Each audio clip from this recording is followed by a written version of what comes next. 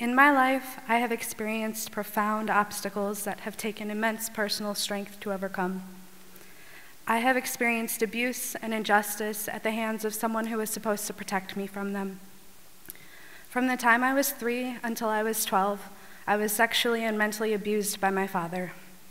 I was told that no one would believe me if I tried to tell them, or that people would think I was stained, like it was my fault.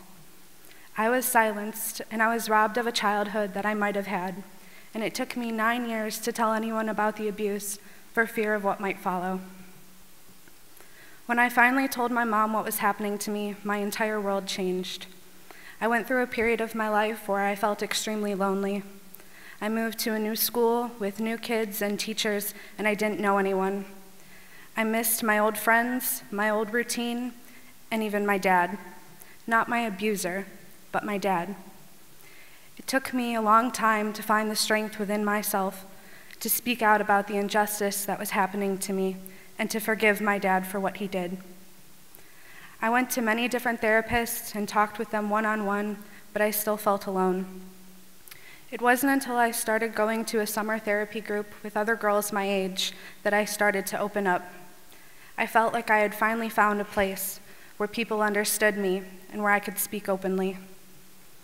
I spent years hiding behind the epidemic of silence, too afraid to open up and talk about what had happened to me too afraid that I would be judged or that no one would understand. Little did I know there are millions of people all over the world who have felt the exact same way that I did. Every year in the US alone, 321,500 people will be victims of sexual assault. The number of those cases that is reported, however, is less than half.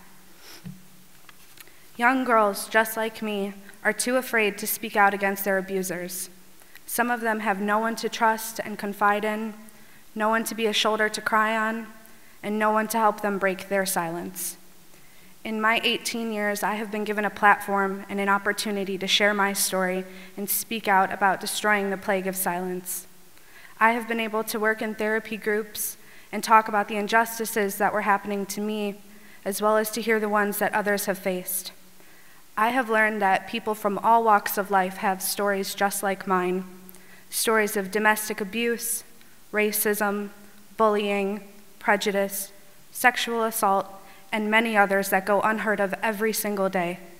In finding my voice and speaking out, I have been able to help others find their voice and shatter the silence. Thank you.